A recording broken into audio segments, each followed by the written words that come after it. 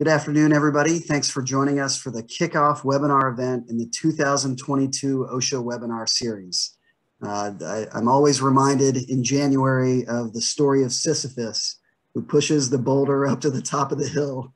And when he finally gets there, it rolls back down and you start again. And I've never been more uh, keenly aware of that experience than after the 2021 webinar series, which turned into um, you know, way more than monthly webinar programs. There was just so much uh, major developments on the OSHA front. You know, it was an interesting time to be an OSHA defense lawyer, an interesting time, I'm sure, for all of you who have OSHA within your uh, responsibilities in the workplace.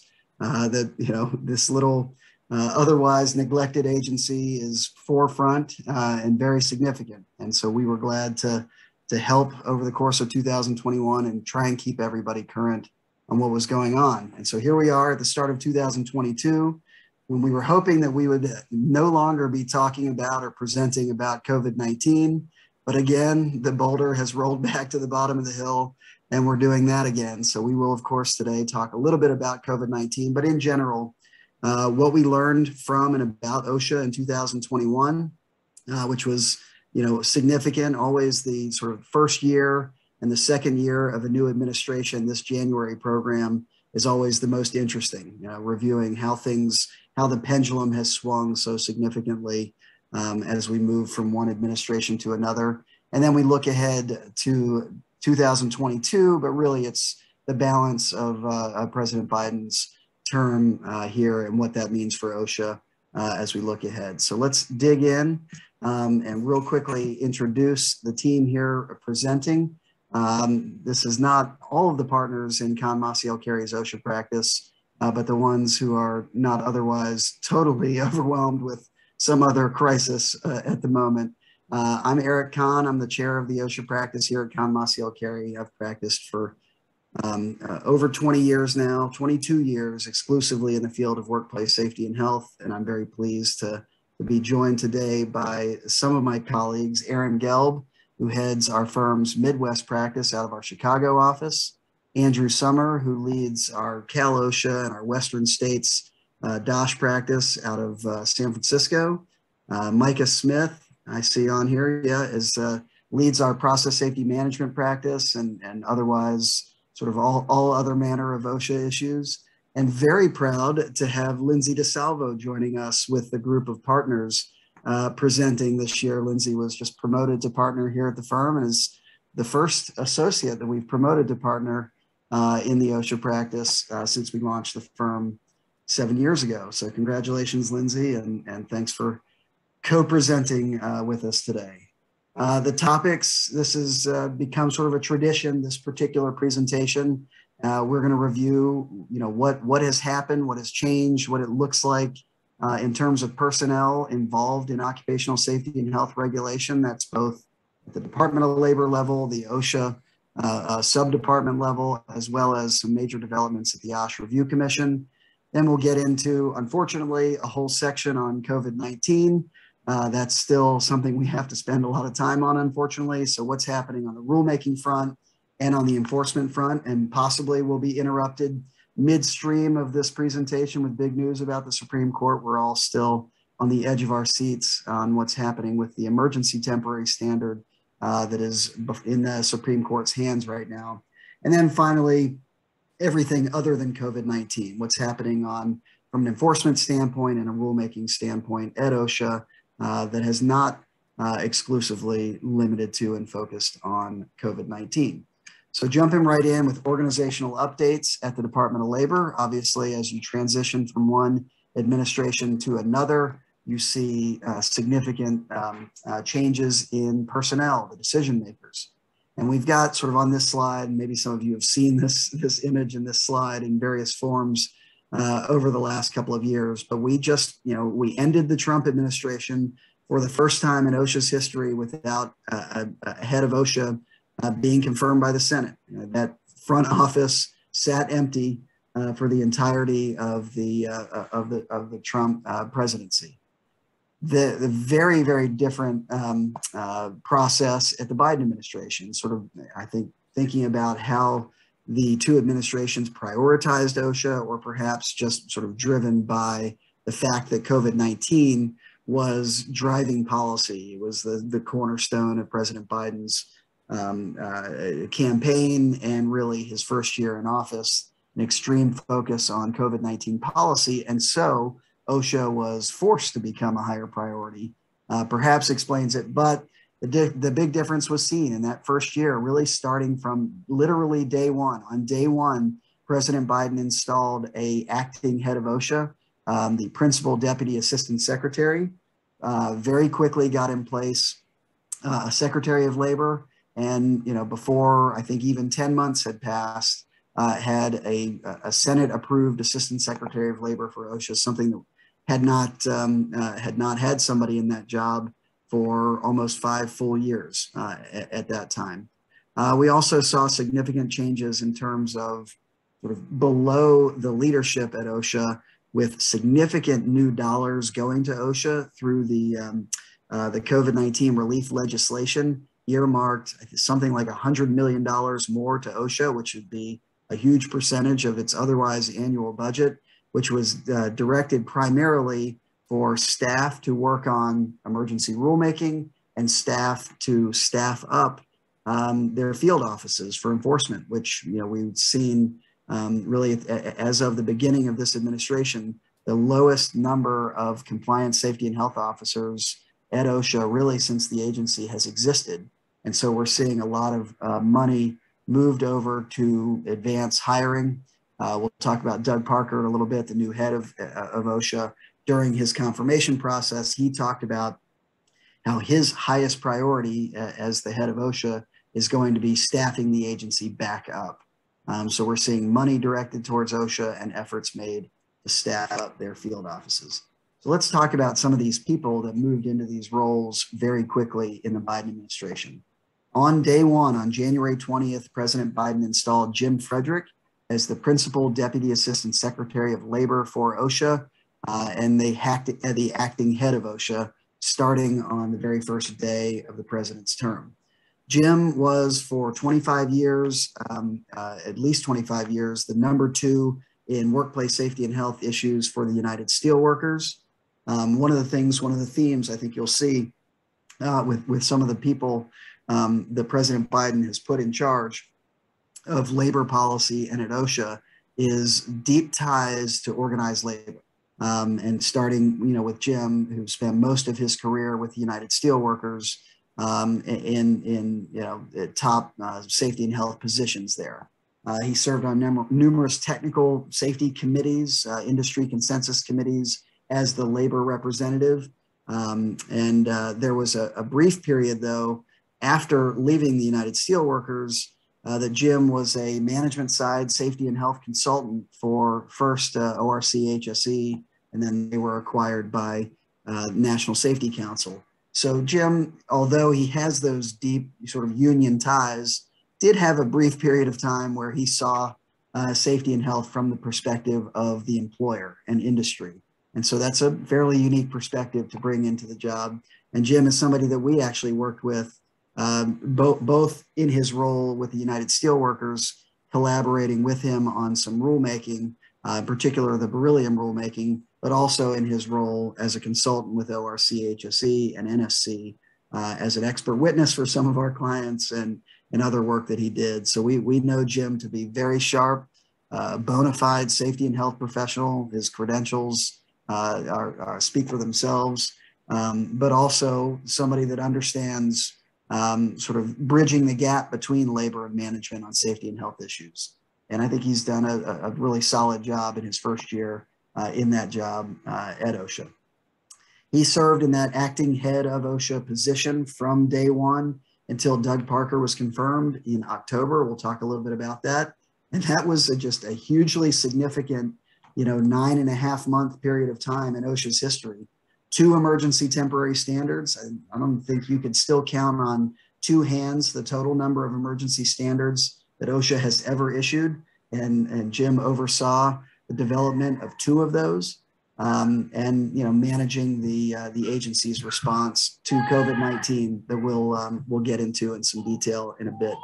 Uh, other major characters, major um, uh, staff um, uh, involved in uh, OSH decision making, obviously the Secretary of Labor. Um, and this was another position that President Biden moved very quickly to fill. He named Marty Walsh, uh, who was at the time mayor of Boston, uh, to be his nominee for Secretary of Labor even before he took office, uh, and had him confirmed by the Senate and in uh, in the job uh, as of the end of March of 2021. So still pretty early on. Uh, um, Sec- Secretary Walsh, like Jim Frederick, who he mentioned, has deep ties to organized labor. for a big part of his career, Secretary Walsh was a major player within the um, within uh, the union scene in the Northeast, uh, culminating with his role as the president of the Laborers Union Council, I'm sorry, uh, with the uh, Boston Metro Building Constructions uh, Trade Council, which is an umbrella organization of approximately 20 local uh, trade unions in that area. in, in his role, obviously, labor does a lot of things, not just OSHA, but he was obviously very much involved and, and outspoken uh, throughout the rulemaking processes for the development of those two COVID emergency standards, um, and and presumably had some role in the makeup of the um, the political leadership team at OSHA, and that includes and is led now by Doug Parker, who was confirmed on uh, October 25th uh, to be President Biden's Assistant Secretary of Labor for OSHA and to head the agency. Uh, although he got involved formally as the head of the agency in October, uh, Doug Parker was named to President Biden's labor transition team again before uh, President Biden was even in office. So, although he was not in a, an official capacity at the Department of Labor until his job, um, until his confirmation in October, uh, we understand that Doug was certainly involved in some of the major policy uh, uh, decisions and the rulemaking processes to develop those two emergency standards. Um, and we saw, you know, during his confirmation hearing, he was, pardon, pardon the background noise if you can hear that. That's, uh, you know, school age children in the era of COVID wanting to participate in every webinar. Uh, but, but Doug Parker was um, uh, most recently in the job before he became the head of uh, federal OSHA was the head of Cal OSHA. He was the head of Cal OSHA during the time that Cal OSHA was developing its um, uh, COVID-19 emergency temporary standard. Um, and he really spearheaded that, that process. And, and that was probably the most significant development uh, at Cal OSHA during his tenure as the head of the agency. And when he was going through the confirmation process for the job to head Fed OSHA, that was obviously a, a major issue that he was examined about um, during uh, during hearings and in private uh, interviews with with senators, uh, and he was steadfast throughout that process that you know COVID was a grave danger. An emergency standard was necessary to address that, and an onerous uh, programmatic type standard like they had in California was appropriate. And if you'll sort of follow the timeline, uh, I believe he was giving that testimony, the most you know pointed testimony about the need for an emergency standard during the summer uh, of 2021. I think it was around June or July, which was at the, the low mark of COVID 19 when we actually thought for a minute we might be coming out the other side of the pandemic. And he was still steadfast that that standard was needed. I guess his, his sense there was, was perhaps proven true by the, the new surge in uh, Delta and then the new, new surge of, of Omicron cases. Um, but that was something that he was pushing uh, not only in his testimony, but I'm sure in the background, working with the team at OSHA to develop that. Just like Secretary Walsh and just like uh, uh, Jim Frederick, uh, Doug Parker has deep roots in organized labor. And this is, you know, one of the things that President Biden said uh, during his campaign was that he was going to, you know, give labor uh, the strongest voice that, you know, that, that they have had in any president's term and if you look at the, the folks that President Biden has put in senior leadership positions, he's certainly delivering on that promise. Uh, Doug Parker, before being the head of Cal OSHA, um, was the director of WorkSafe, which is a big worker safety advocacy uh, organization, primarily out on the West Coast. Before that, he was in a senior political position at the Mine Safety and Health Administration during the Obama Biden uh, administration. And before that was when he was doing his work uh, uh, for uh, major national unions. He was an attorney at a private law firm that represented unions and did union side legal work. And before that was a staff attorney for the United Mine Workers directly. So uh, again, these deep roots with organized labor. That's who's you know leading the um, uh, the policy making uh, at OSHA right now.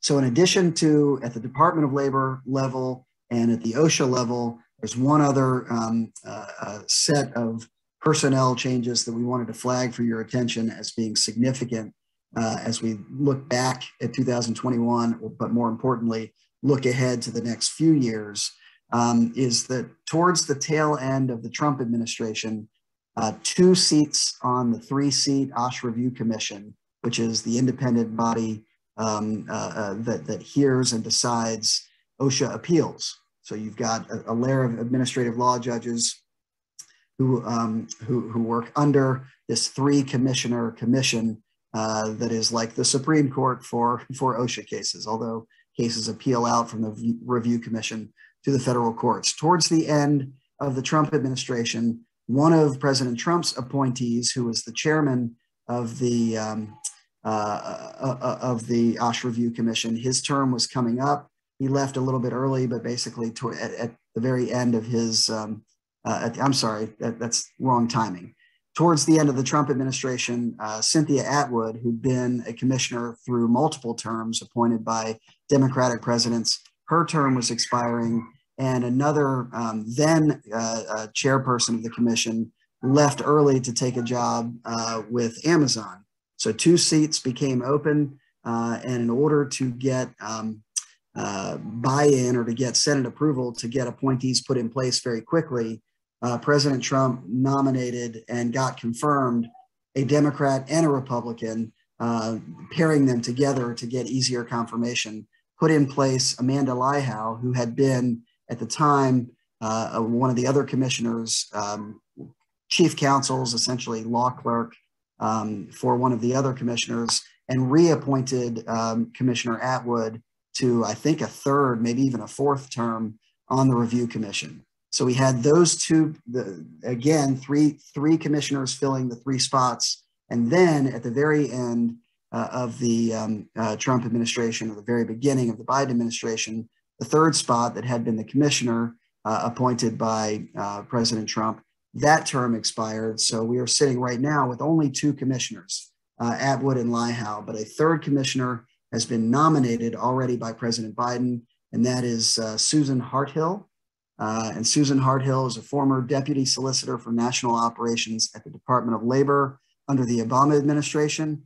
Um, and she, she has been nominated to fill that third seat. So up until this point, for about the last four years, we've had a review commission that had either two conservative commissioners and one progressive commissioner or a split of one and one.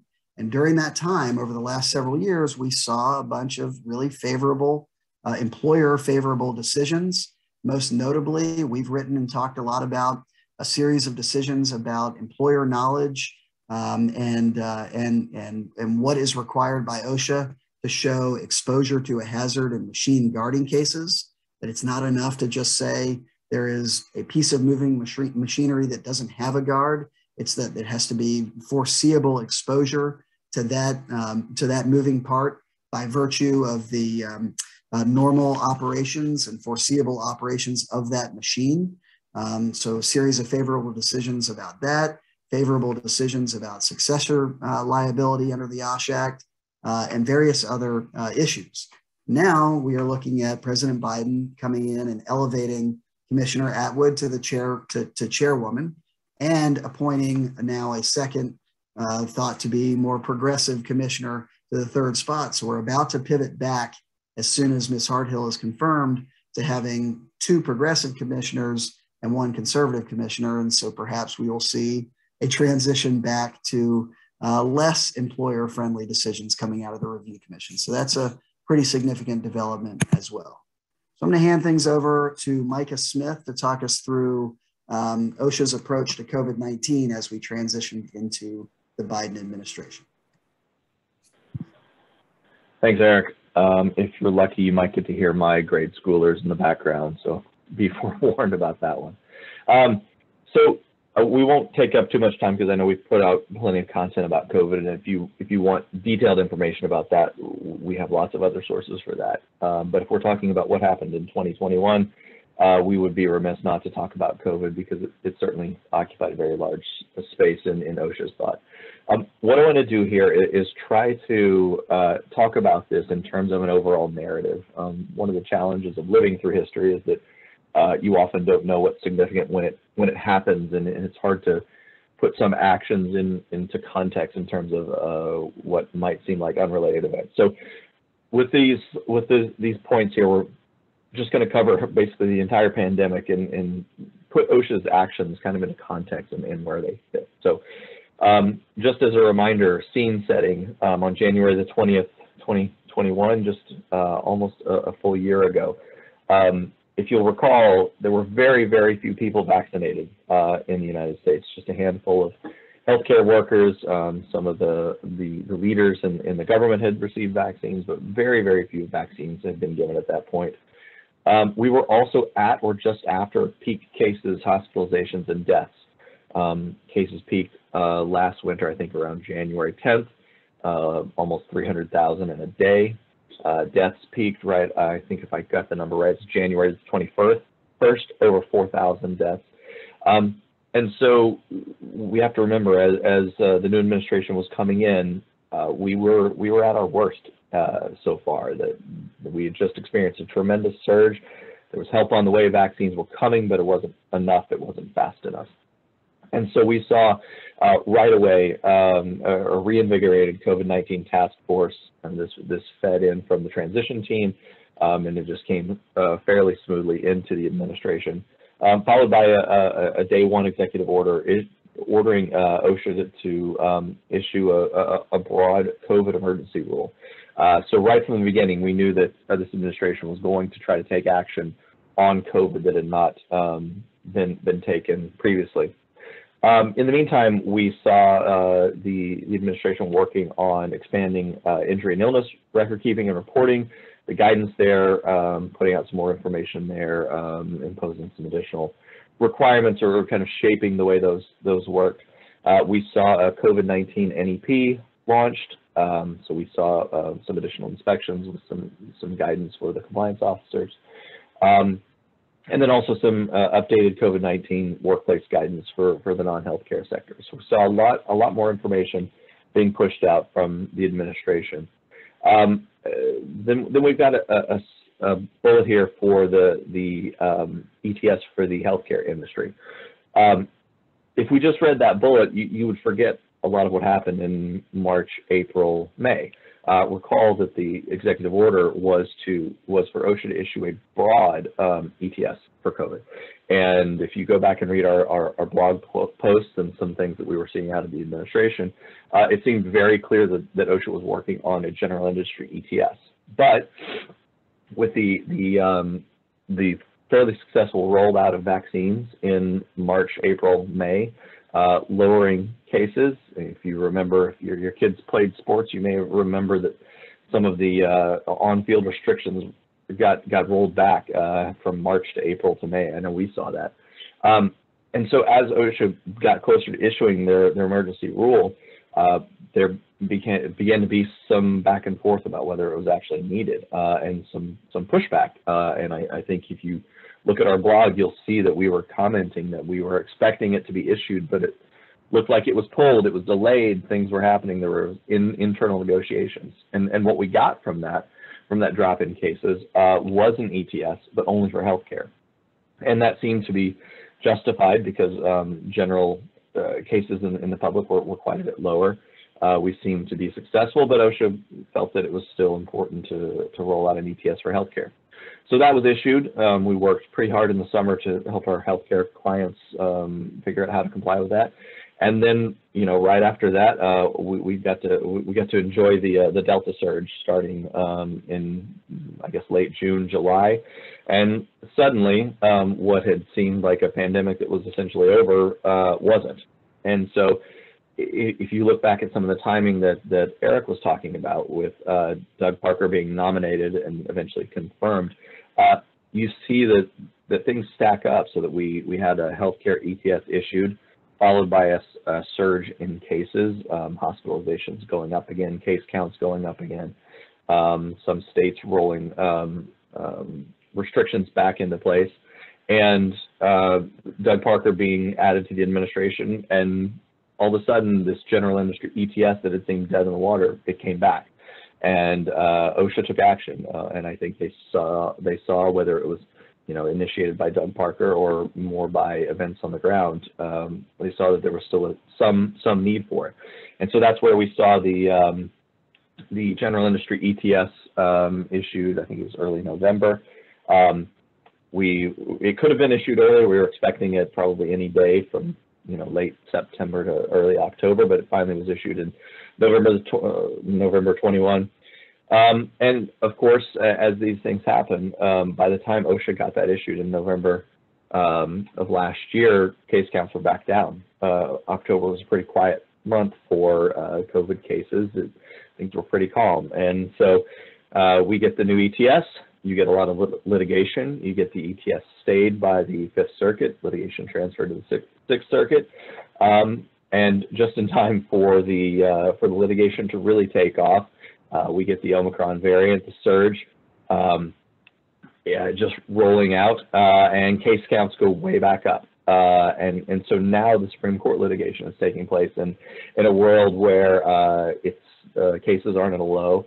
Um, they're actually at an all-time high now, so we're higher than we were uh, a year ago. So um, I think it's important to kind of put all this into context and seeing o OSHA's actions um, because of course what we what we're looking at is what, what's OSHA going to do this year, um, what's going to happen, what, what are their next steps, uh, and I think that where where we're standing in terms of, of cases and with the rule and litigation, we are of course all waiting and, and refreshing um, frantically for news to see when the Supreme Court is going to issue a decision on uh, the ETS stay. Um, but I, I, think we're going to see OSHA continuing to push uh, their COVID enforcement, um, moving ahead with um, um, uh, inspections, uh, guidance, and all things along those lines. So um, we will keep watching this space in the in the coming year. Um, I, I, think we'll, we'll we'll see more. There's still going to be a lot a lot to talk about. Um, will we see COVID become endemic in the next couple of months, or, or do we have you know, multiple more surges uh, and, and variants to deal with? So um, that's a view of what's happened. Uh, I think we'll we'll give you some more guidance in COVID-specific um, pod, uh, webinars and blog posts. And uh, with that, I'll pass it over to uh, Andrew to talk a little bit about how things have been done in California. Thank you, Micah. Uh, in California, we, we're really in the forefront over the uh, ETS COVID-19 rulemaking for better or for worse. And want to give you a brief overview uh, of the uh, ETS rulemaking in California, as well as the current status. Uh, the ETS in California for COVID-19 was uh, passed, um, it was, there was a rulemaking process in the fall of 2020. It became effective on November 30th, 2020.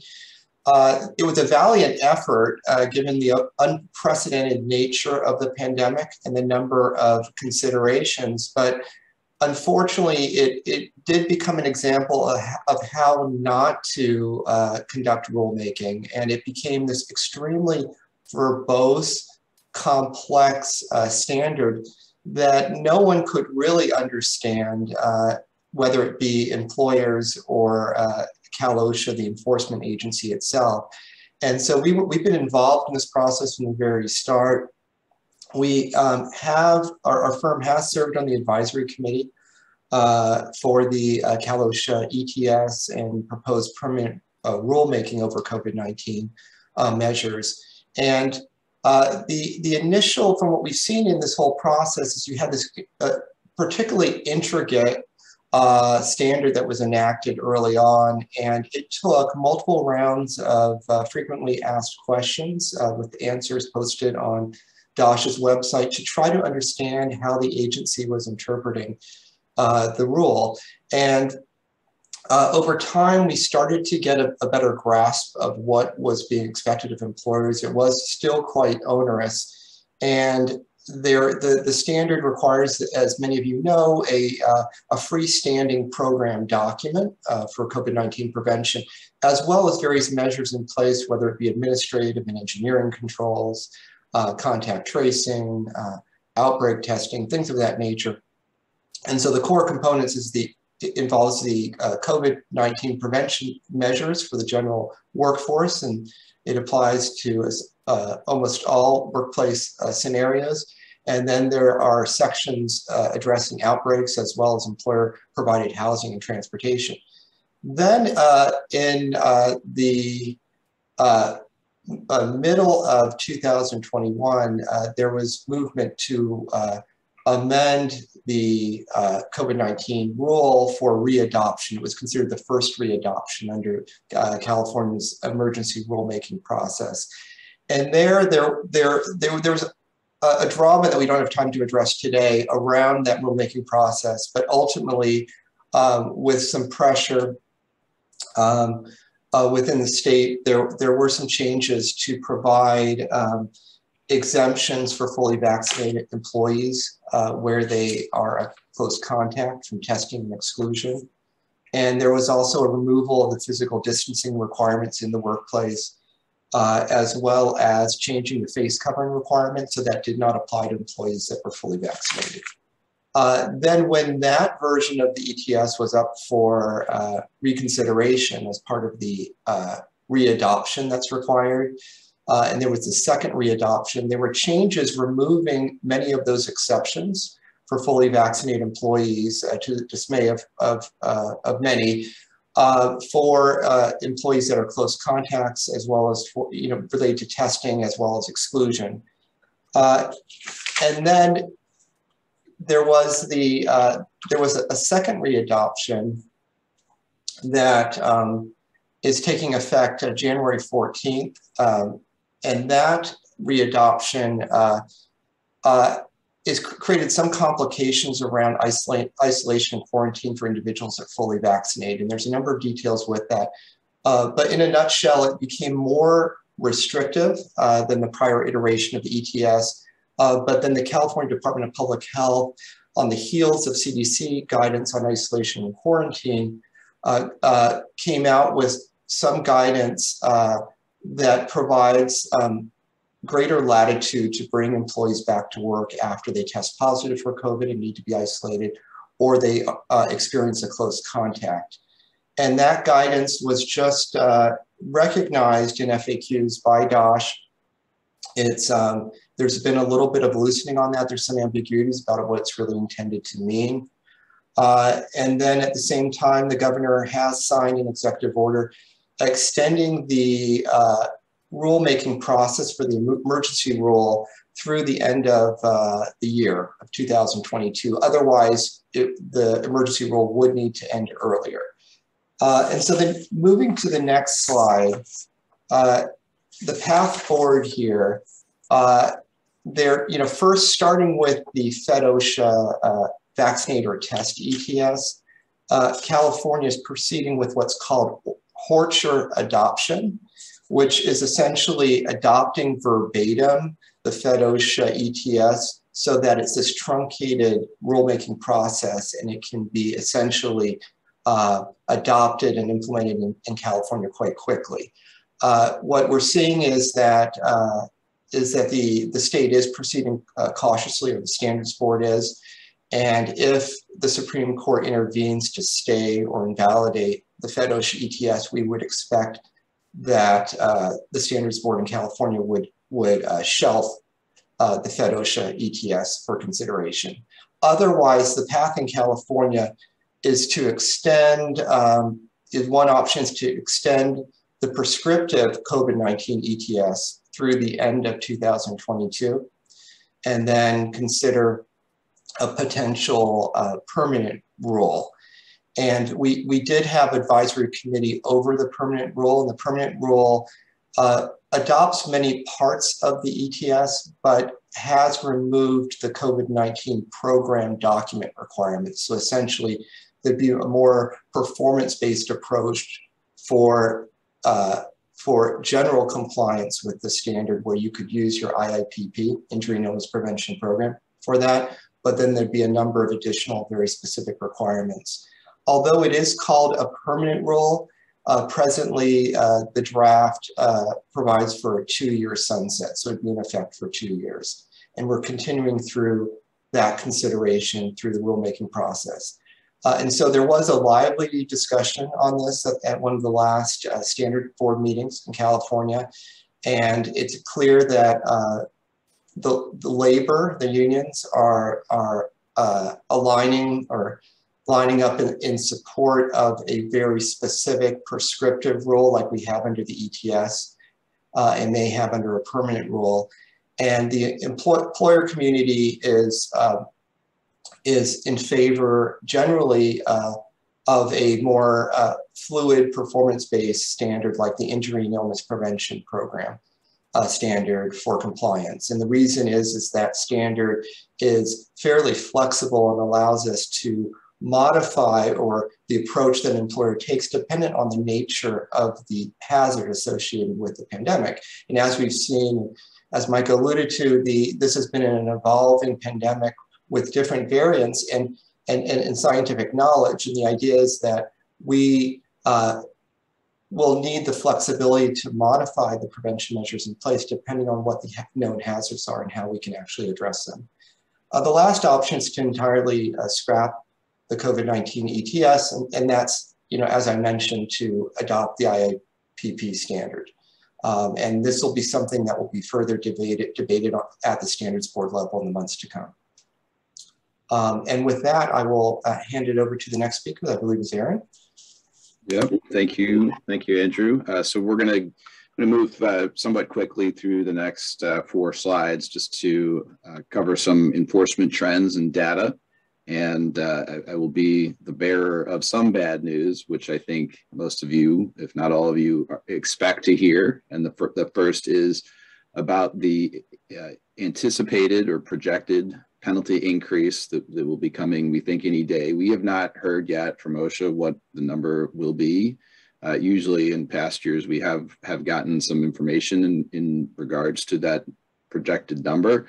Um, historically, and since the, the number has been changing each year uh, since 2016, since the, the structure was changed in 2016 to align uh, with, with inflationary costs, uh, we saw, I think I saw just announced either today or yesterday that the consumer price index rose about 7% uh, in the past year, which was the largest increase since 1982. Um, I still remember the 80s. I, am sure a number of our uh, the folks listening uh, and joining us today may not have been alive back then. Uh, so it's a big deal. It's gone up a lot, and that means your penalties uh, have the potential to go up a lot. Um, so when, when OSHA made that big jump back in 2016, uh, moving from 7,000 for serious or other than serious citations to 12,471, you can see it's taken from 2016 uh, until 2021, and we, we really only increased about a thousand, just a little over a thousand dollars, with the max penalty last year being 13,653. Uh, now we are looking at with this significant increase in the consumer price index, uh, jumping almost a thousand dollars in one year, um, with with max penalty going up to potentially up to fourteen five eighty one for a serious or other than serious citation. Obviously, that that increase then is is magnified with respect to willful and repeat citations, which can come with a penalty of up to 100 and uh, possibly up to 145,816 dollars. Uh, and as if you've uh, heard us talk about why we're we're so so concerned, particularly about repeat citations, and, and Lindsay will talk about that in a few minutes.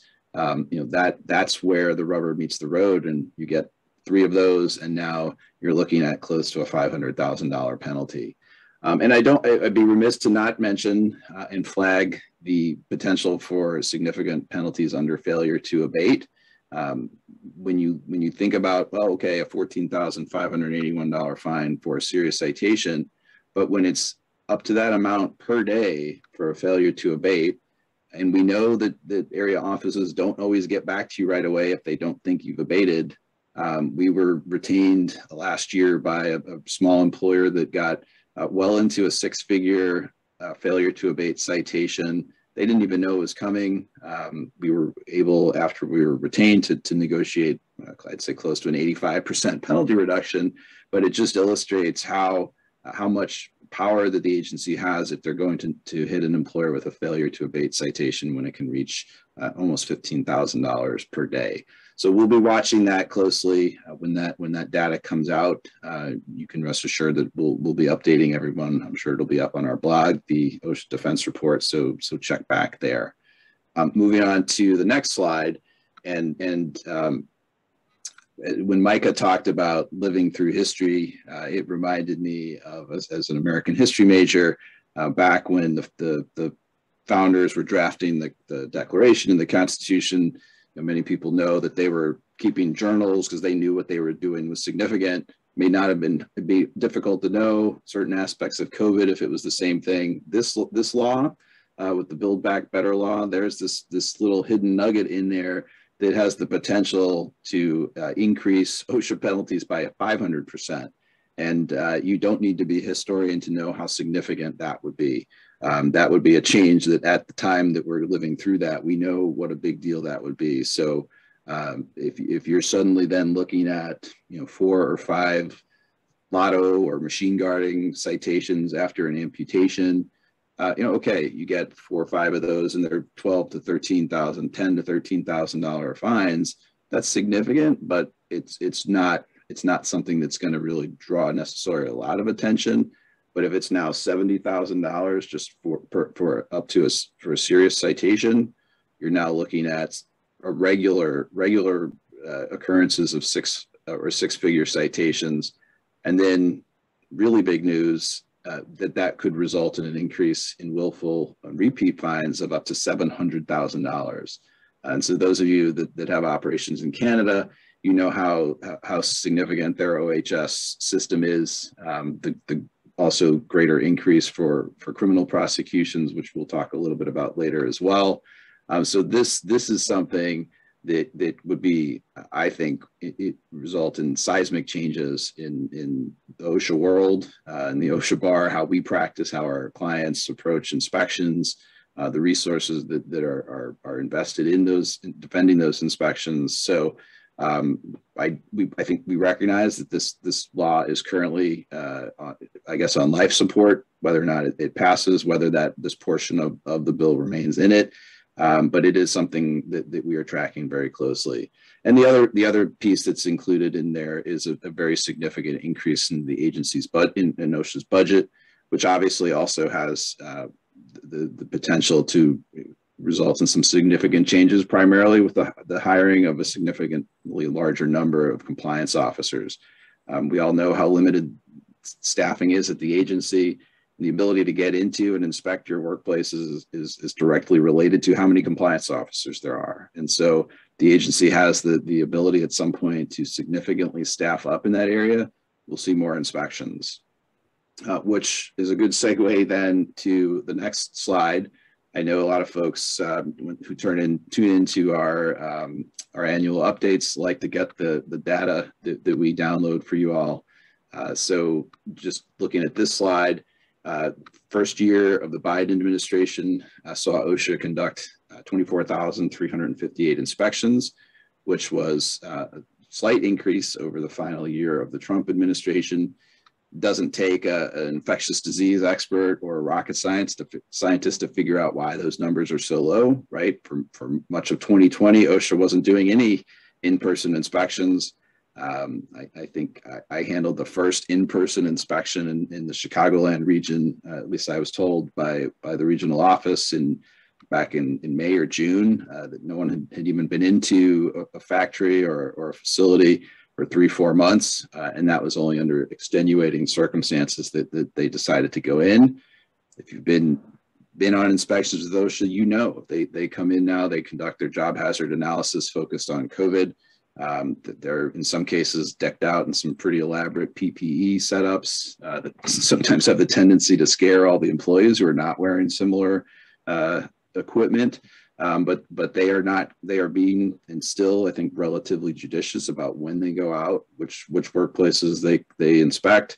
Certainly relying on uh, the, the, notice of alleged hazard letters more than they have in the past, at least in, in my experience here in the Midwest.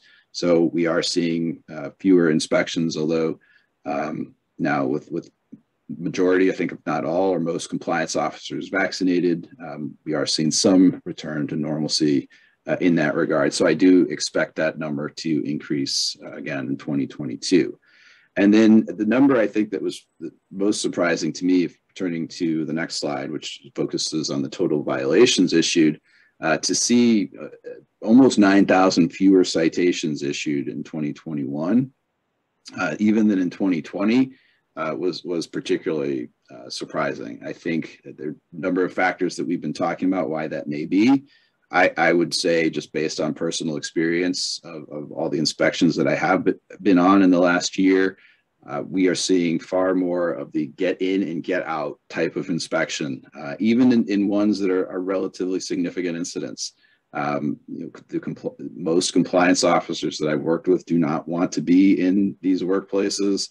Um, they, they, they, they focus on what, which is good news for our clients, right? The, the scope of what the inspection should be. If you listen to our managing uh, inspections webinars, you know how we always talk about managing the scope of the inspection. And I, I've, I've fielded far fewer uh, requests from compliance officers that where they want to expand, go into other areas, other departments, look at other issues.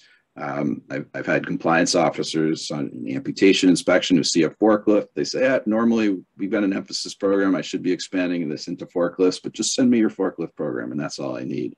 Um, so there, there definitely does not seem to be that same inclination to expand and look into other areas. Um, they'll they uh, typically take those, take some photographs, do a couple witness interviews, and they're gone. Uh, so I think that that, that is a big reason uh, why we we saw such a significant decrease in the number of inspections, or I should say the number of violations issued last year. Uh, so with that, I will turn it over to my new partner, uh, Lindsay DeSalvo, uh, who will present a few more statistics and talk about repeat citations. Thanks, Aaron. Yeah, we have a, a, couple more slides on just important stats that we wanted to review, and then um, just some quick points on the repeat policy. Um, so first on this slide, we have about the same average penalty that we saw for serious violations in 2021. Uh, probably not surprisingly, serious violations are generally the most common type of violations issued during an inspection.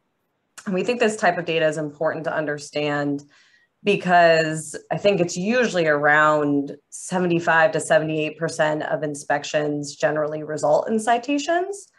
Um, and since serious penalties are the most common, it's, it's good to have an understanding of what sort of penalty amount you might see.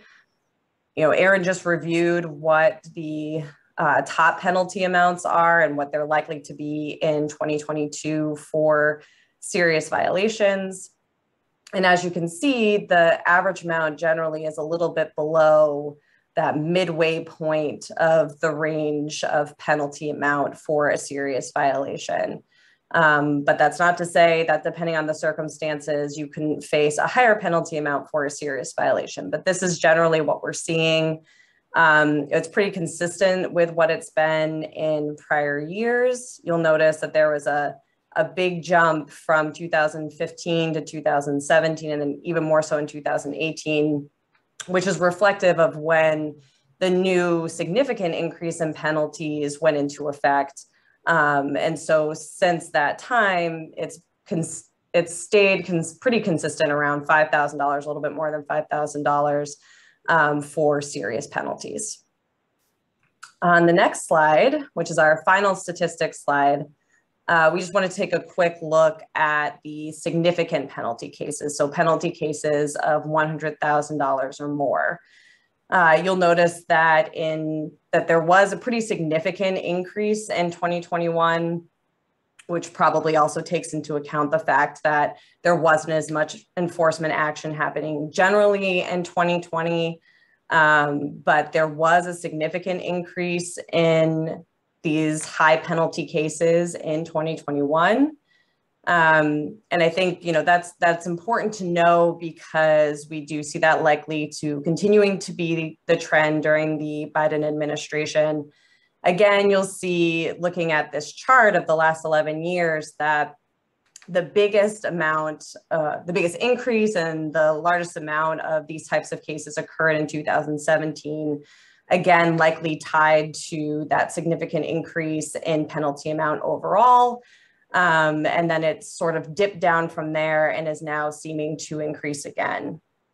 And as Aaron said, you know, we do think that there's going to be a lot more significant enforcement action this year and into the coming years of the Biden administration. There's more resources being put toward enforcement now.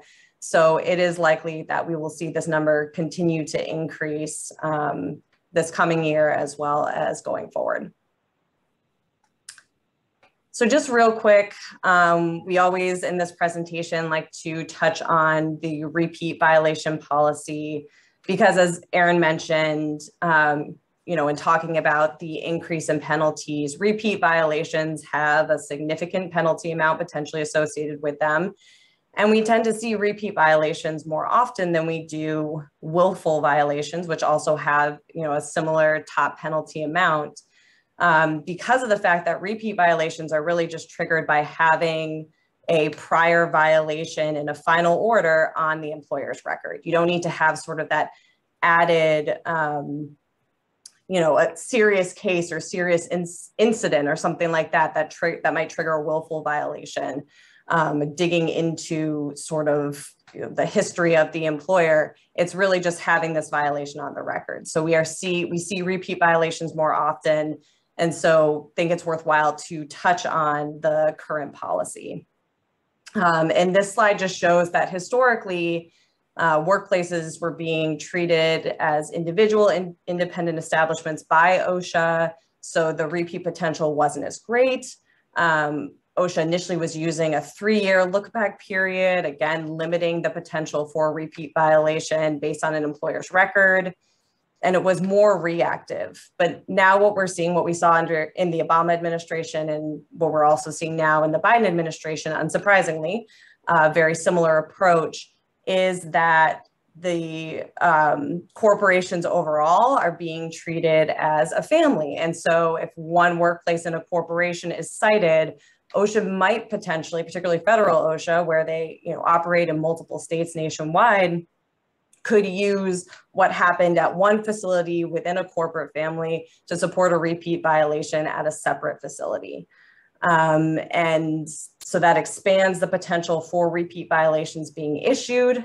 And then the look back period that is being used in the Biden administration also expands the um, potential for receiving a repeat violation. So OSHA under Biden uses a five year look back period to assess an employer's record and could use a violation from a final order uh, on that record going back, you know, now to 2017. If there's a violation there, they could use that as the basis for repeat violation. Um, so it's just kind of important to sort of understand the context for repeat violations. And then the last slide here if you go to the next slide, um, this shows the statistics on repeat violations. And again, you know, just sort of emphasizing the fact that the instances of repeat violations being issued has generally increased over the years. Uh, in 2021, we saw that repeat violations made up about 5.7% of the violations issued. And again, this is important from, you know, sort of an assessment of how to proceed when citations are issued. Not only could there be a significant penalty attached to repeat violation, but receiving multiple repeat violations, depending on the standards that are cited, could result in an employer um, being admitted to OSHA's severe violator enforcement program, which could have some pretty significant potential impacts on the employer. Um, so again, just emphasizing that repeat violations can be more easily issued than willful violations.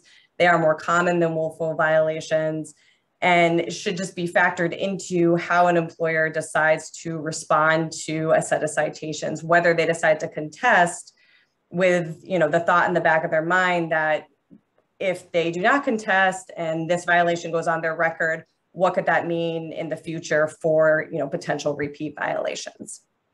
Uh, so with that, I will turn it over to Eric to talk about OSHA enforcement under Biden. Thanks, Lindsay. Um, we'll cover these, these last few slides pretty uh, quickly here. Um, this is just an overview of things that we expect to see out of OSHA from an enforcement standpoint uh, over the course of you know the balance of the next few years. Um, we've already seen a significant boost in OSHA's budget, both from the um, COVID relief legislation, but also just in the the first year budget, uh, fiscal year budget um, that was uh, that was approved uh, by Congress. Um, it showed a, a, significant increase in OSHA's budget that they're using for enforcement programs. Um, one thing that we had flagged for something to watch out for. I think we talked about this in some detail in last January's webinar was, hey, we now have Democratic control of the House and the Senate and a Democrat in the White House. Is this the year or is this the, the term in which we're going to see some real movement in the Protecting America's Workers Act, which is the big OSH Act reform legislation that would increase penalties, would increase criminality, uh, increase you know, potential targets for criminal charges, all sorts of um, uh, really sharpening of OSHA's teeth. Um, we, we put it on this slide because we still do have um, uh, single party control of Congress and the White House, but it's not looking like this is uh, a priority, especially with everything else going on with COVID and some of the other uh, the, the Biden administration's other priorities like voting rights and and um, and the uh, infrastructure and build back better uh, legislation. Uh, it, this is probably not going to happen, but if we get surprised um, at the midterm elections uh, later this year and there is still Democratic control or growing Democratic control in Congress, this is something that we're going to be paying close attention to, um, you know, the, to, to watch out for. Uh, one of the other major things that we are fully expecting to see is a big focus on heat illness. And we're going to talk about the heat illness rulemaking that is underway now, and maybe many of you are joining us for a discussion about our coalition to work on the heat illness rulemaking later this afternoon. But there's also a big focus on heat illness from an enforcement standpoint uh, right now. They have uh, they have issued a new enforcement directive which requires compliance officers whenever they are in a workplace for any reason, not just because they're there for a heat illness complaint or heat illness concern, they are to evaluate whether there are heat illness risks. Do they see strenuous work in high heat conditions? And if so, to evaluate compliance, general duty clause compliance with uh, recognized practices to address heat illness. And OSHA is working on a national emphasis program right now to focus on heat illness, which we expect to see issued sometime in 2022, which will drive a bunch of programmed inspections uh, in certain industries that have um, uh, more prevalent uh, issues with heat illness, construction, other outdoor work uh, activities. So heat illness we know is a high priority for the Biden administration, for the senior leaders that have been appointed at OSHA, um, and they're they're they're tackling that both from an enforcement standpoint now and a rulemaking standpoint. We'll talk about in just a second. Um, we expect to see continued effort by this administration advancing what began during the Obama administration and which frankly continued during the Trump administration, which is to find and prosecute more worker safety criminal um, situations. Uh, even without uh, an, an, amendment to the OSH Act, uh, the Department of Justice has gotten creative in finding ways to pair worker safety crimes with environmental crimes uh, and to otherwise just make a personal commit or administrative commitment or a department commitment to find and prosecute more worker safety cases, even though they are still now misdemeanor charges that tend to only be brought or, um, or, or, can only be brought against companies, uh, against individuals in rare circumstances at the federal level, but they're doing more in as much as they can. Uh, we know that this administration is going to redouble uh, the efforts that began uh, during the Obama administration to highlight whistleblower uh, retaliation, 11C actions under the OSH Act, um, uh, you know, creating a new division um, uh, to handle that during the Obama administration, increasing the funding for that during the Biden administration is a clear objective, and we expect to see a lot more activity on that front. Uh, we expect to see a lot more enforcement in the process safety industries as well um, during the uh, Biden administration. At the um, very end of the Obama administration, the beginning of the Trump administration, the agency launched a chemical facilities and petroleum refinery, uh, refining PSM national emphasis program, but it sort of sat on ice during the Trump administration. They were doing inspections, but not, um, uh, not at the rate that they were expected to, and they seemed to not be as robust uh, as the Obama administration's OSHA indicated that they would be. We anticipate that that will pick back up at least as we uh, begin to move um, or get the pandemic more and more under control. Then we expect to see a refocus on very robust enforcement in the process safety industries, refining and uh, chemical manufacturing. And then finally, um, we've already seen a resurgence in regulation by shaming. The, uh, the, OSHA, uh, the OSHA's um, negative uh, antagonistic enforcement press releases. And I think uh, Aaron is going to talk a little bit about that here. Thanks, Eric. Um, and, and I won't rehash what we've covered. And I know I'm kind of stealing your thunder since this is usually your slide, but um, I won't rehash what we generally cover, which is like many things when when between Republican and Democratic administrations, you see some pretty stark differences and this is one area uh, that, that, that is certainly the case. Um, during uh, the Bush and Trump administrations, you see uh, fewer press releases. The press releases that are issued tend to be very factual, uh, just stating uh, the name of the company, some brief description of what happened, the amount of the, the types of citations, number of citations, overall penalty, and that's that was pretty much it. Um, then uh, during the Obama administration, you saw, as Eric talked about, this this approach to regulation by shaming, something that was really um, a, a, big focus with uh, Dr. David Michaels, and you saw some pretty inflammatory quotes from DOL officials. Um, depending on, in, in, in, my experience, the more significant the, the incident or, or issue, the higher level person. Uh, so sometimes it'd be the area director. It was a mass casualty event or a plant explosion, you might see the regional regional administrator or possibly even someone from from the national office.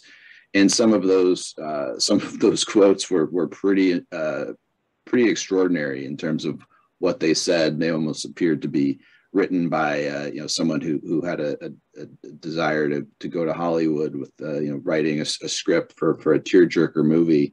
Um, and what I've seen, and and and as Eric said, I've already seen a number of, of pretty inflammatory. Uh, one one in particular that that uh, really caught my attention.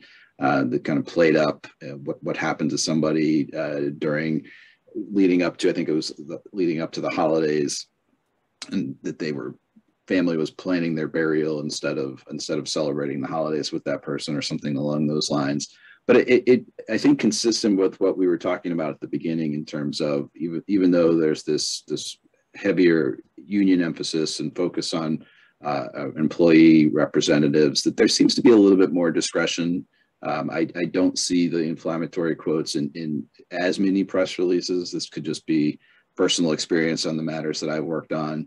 I, I, I feel like that the, the area offices have some discretion as far as if they feel that the employer uh, is is concerned and, and cooperating and taking appropriate steps to correct potential hazards during the inspection, that you're less likely to to see negative quotes. Uh, and in, in, in fact, in some cases, perhaps even avoid a press release entirely. Um, if you've been in this process, you know that the standard response is we don't negotiate press release content. We don't negotiate whether a press release will issue but I've had discussions with with local area offices and in, in, pretty significant inspections where um, kind of made our clients' uh, desires known. Um, and I think because of the way the inspection went forward, uh, they were comfortable not issuing a press release. So I, I feel like a big part of it is going to be that perception that they have of the employer and whether they think that the press release is needed to uh, to to kind of beat you into compliance if you're not showing a, a willingness to comply, even if there was a problem. Um, so we'll be watching this issue closely and, and, and, tracking those press releases. And hopefully next year we won't have too many examples of, of really egregious language, but I'm sure there will be some. Uh, and so with that, I think uh, turning it over now to, uh, to Micah. All right, uh, we're going to switch from enforcement to rulemaking uh, and take a quick trip through uh, this list, of, the top 10 list of what we think are likely priorities of the Biden administration. Uh, the focus here is just going to be giving you an update on where things stand. Does this uh, effort exist in, in real life or is it um, just a goal? So with that, we'll kick it off. Number one, the permanent infectious diseases rule. Uh, I think that this is something that's been on um, the rulemaking agenda since maybe 2010. So it's definitely something that OSHA has wanted to do since even back in the Obama administration. Um, the the pandemic has certainly raised this um, to the front of um, the the agency's mind and and shows up as something that they could do uh, perhaps before the next pandemic, whenever that is, uh, as something that could be useful and, and give them some some enforcement tools uh, if if we encounter that again. Um, right now, uh, looking at the um, at the regulatory agenda, there's no impending action here. We think that this is probably going to follow. Uh, it, it, may be kind of a, a follow-up uh, with the permanent COVID rule. It may be related to it. It's uh, OSHA's got a lot of options on what they can do with it and where they can go. But uh, I think we think we're seeing uh, some elements that could be in it. Um, in some of the COVID ETS um, rules. So um, that's definitely something we're going to be watching, but I don't think we're going to see this one land until we're clear of the pandemic. Uh, the second one here is uh, workplace violence uh, in the healthcare sector. Uh, this is something that's been a, definitely been a focus of OSHA. Um, it is listed as in the pre-rule stage, um, and there was a 2016 RFI issued here. Uh, there's currently no impending action, but uh, this is another one that has all uh, been high on the priority list for quite a while. Um, and I think we're just waiting for OSHA to get some breathing room to to to be able to take action on this. So I think we'll see this happen uh, certainly in the next couple of years. Third one is emergency response. This one is probably the most active of any, or maybe maybe not quite the most active. Uh, it's listed as in the pre-rule stage, uh, initiated back in I think 2016 with a NACOSH report. Um, there is a, a SBREFA uh, report that was just issued last month. So we're, we're seeing this move along a little bit. Uh, I have not personally dug into the uh, report yet, um, but we at least know that there's you know some information going back to OSHA. Uh, so I think there's there's room for OSHA to take a next step here. Number four, revisiting um, Trump OSHA's rollback of e-record keeping. You'll recall that uh, the tail end of the Obama administration, there was the e-record keeping rule, which would require the submission of a lot more information directly to OSHA and then the publication of that. Uh, OSHA during uh, the Trump administration rolled back most of the, the publication requirements and also the collection of some of that information. Uh, right now, there's nothing on the regulatory agenda here. Um, we think that this is probably something that will be a, a, a goal, something the administration will do. I think we've seen some statements along those lines. Uh, but at this point, I don't think there's anything, uh, any active measures along these lines. Uh, with that said, uh, because it's a uh, it's a regulation, not a standard, um, OSHA is able to move much faster on these things. So if OSHA does decide to do something here, it, it can happen a lot more more quickly than it does with a substantive standard. Uh, number five, heat illness rulemaking, and this is something that the rulemaking has actually been initiated. So I'll pass this back to Eric to give us some a more substantive update on this. Thanks. Yeah, I'm not going to go into a ton of detail on this because we've done a separate program on it. We formed a coalition to work on this rulemaking, I invite everybody who's, who may be interested uh, to participate in that to let me know. Uh, but just the long and short of it is, this is an extremely high priority of this administration. You know, I, I think if we were not dealing with the pandemic, we would have seen a lot more aggressive uh, activity on this in the first year. But even with the pandemic, we did see this interagency effort uh, kickoff that announced multiple things, including the enforcement initiative I mentioned before, the national emphasis program I mentioned before that's coming soon, and they kicked off a heat illness rulemaking with an advance notice of proposed rulemaking. Comments are due to that, uh, due on that advance notice of proposed rulemaking, which included something like 100 115 questions about existing programs that uh, employers have, uh, feasibility issues, uh, indoor versus outdoor uh, heat illness rules, um, uh, pros and cons, and, and complications of that sort of thing.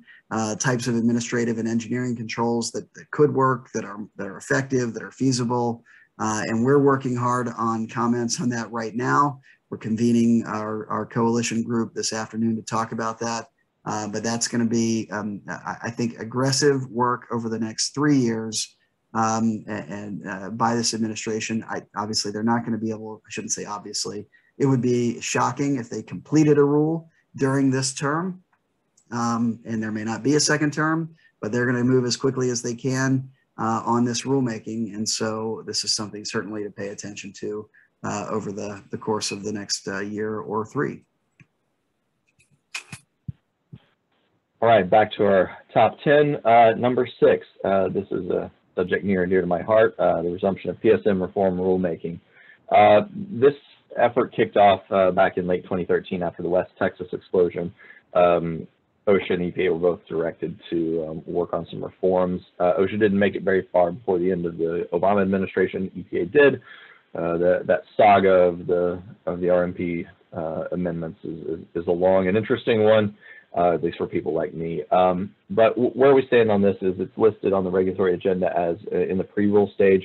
Um, we wouldn't think um, on the surface that there's much to talk about here, that there's much coming, but what we've learned in conversations with folks at the agencies that this is something that they definitely want to get done. Um, I think they're also going to be driven uh, because EPA is being more active on this one. Um, this past summer, um, EPA did some listening sessions related to RMP. OSHA participated in those as a as a listener also, but uh, we know that there's a lot more under the surface than there might appear to be here. So, so we think we'll, we'll see something on this in the fairly near future. Uh, number seven, uh, setting lower chemical PELs and action levels. Uh, I would list this as a perennial goal of the agency. Uh, they know that they have uh, very outdated PELs and action levels. Um, many of the, the, the TLVs, um, uh, the, the, industry groups have lowered their, their levels, um, permissible levels. So um, OSHA is out of step with, with everyone else and knows they need to catch up with it.